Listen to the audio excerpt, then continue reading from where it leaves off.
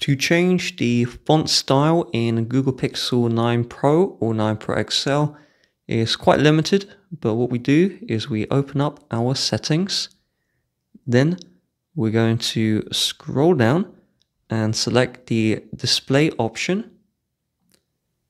Then we will scroll down and we're looking for the display size and text.